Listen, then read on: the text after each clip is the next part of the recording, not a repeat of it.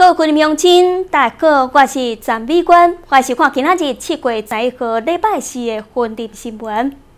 婚礼馆大鼻乡是咸菜专区，因为是咸菜的废水无法度处理，也所得公所伫今年十一月三十号遭遇告期了后，就无要再继续。业者关了这个产业，才有可能就因此来没落。立委刘建国接到地方的申请了后，七十下晡邀请农牛署等相关单位前往会勘，农牛署也答应将会补助一千九百万的经费来协助地方去废水处理设施。大批用的新检测专区设立到即马已经有二十几档的时间，但是因为新检测所产生的废水问题一直无得来解决，因此检测专区可能面临公所未要继续行走的状况。立委刘建国接到地方的申请了后，也邀请到农粮署来到现场进行会勘讨论。因为这个检测大家嘛所拢知影啦吼，咱主要吼就是拢以这个检测水，吼啊甲咸菜尾，吼即废废弃物，啊废弃物的，哦这拢较有迄个，吼较有影响到吼咱的土地啦吼，啊所以即届哦咱都议员啦，啊甲咱立委，吼啊都对即地哦非常的关心，吼啊我有请来邀请到咱这个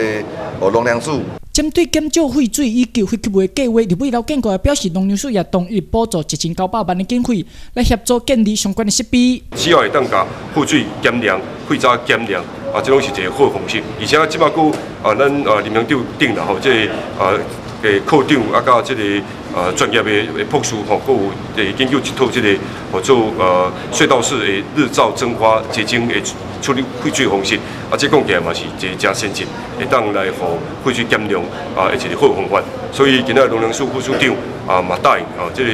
啊国家目前嘛甲钱写出来了吼，来啊支援咱诶啊大批工作。透过泵空室入足看守的设施，会当有效减少废弃物。农粮署也表示，希望公所、政府以及中央共同合作。会当兼顾着环境甲产业的发展。公所提一个计划，就是讲要来实质啊，打这个废水甲废气的残渣，去它减量啊，避免